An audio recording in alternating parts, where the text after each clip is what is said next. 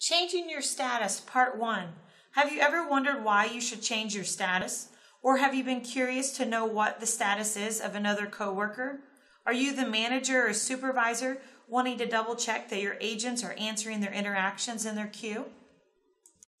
We're going to get into the details of the importance of why you should change your status, how to add and delete fast status buttons.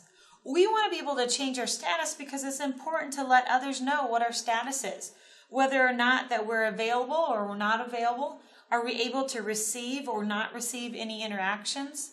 Utilizing fast status buttons, whether we're adding them or deleting them, is it just makes life a little easier for us. Much easier to be able to just click on an icon to change our status automatically. Let's go ahead and add our fast status button.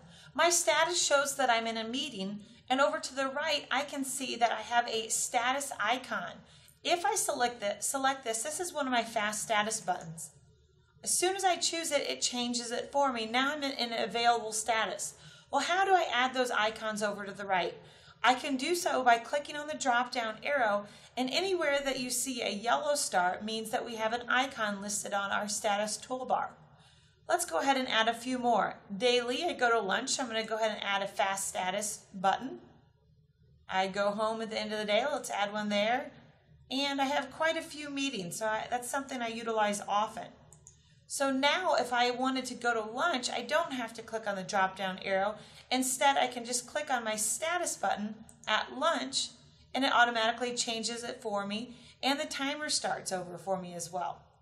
If I want to remove a fast status button, I can do so by clicking on the drop down arrow and removing in a meeting and just taking it from being a yellow star to a gray star, it automatically removes it from the top of my screen. This has been a just-in-time short on changing your status, part one.